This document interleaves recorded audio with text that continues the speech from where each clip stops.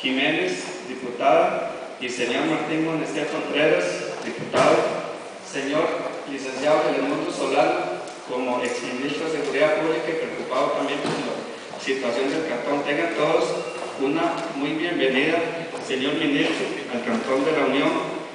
La municipalidad de la Unión les da una cordial bienvenida a todos y a todas.